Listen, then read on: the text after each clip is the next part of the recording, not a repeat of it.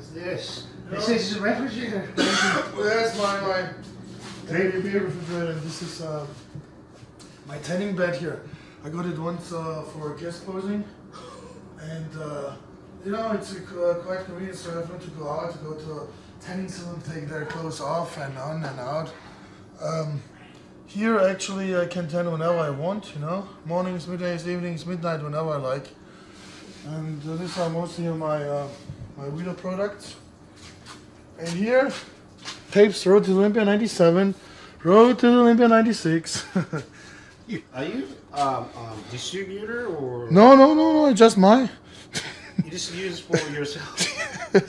Whatever I need, I take here my, my carnitine, my magnesium, my, my uh, um, amino acids, you know.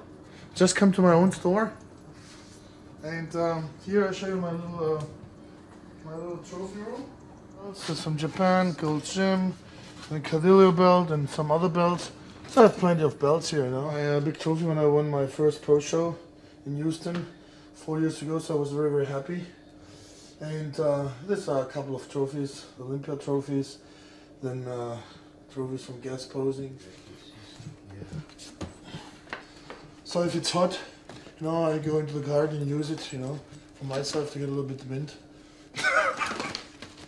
Yeah, that's the room, but it's still under construction. Sato is all time here. It's really a good friend. Nevertheless, that she's so young still, but a good friend. Everyone who is able to read can read it. Yeah. I like this jacket. It's big, it's comfortable, it's nice, it's warm. Especially made for me. I think you should never train uh, more than uh, two or three days in a row. Otherwise, um, you think you are training intense, but you are not. Even after three days, you need a break, off-season or pre-contest. Also important uh, to have a good uh, nutrition basis. Should feed your body on a daily basis of protein, with uh, multiminerals, with vitamins.